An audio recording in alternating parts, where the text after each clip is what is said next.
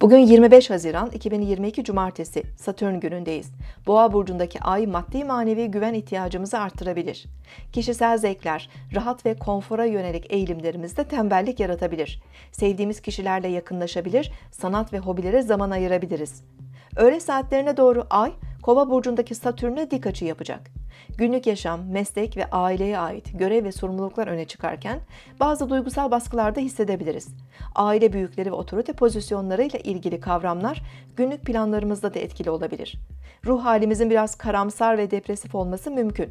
Fiziksel olarak da yorgunluk hissedebilir, kronik eklem, kemik, baş ağrılarından muzdarip olabiliriz. Kendimizi çok zorlamamakta fayda var.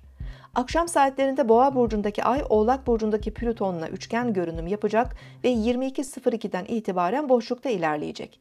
Duygusal ve zihinsel dengemizi daha rahat koruyabileceğimiz akşam saatlerinde aile büyükleriyle ilgilenebilir, duygusal olarak güç ve güven hissedebiliriz.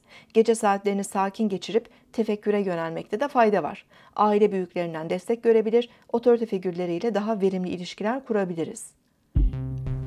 Siz de şimdi kanalımıza abone olun, yorumlar bölümüne sorularınızı yazın, sürprizlerimizden haberdar olun.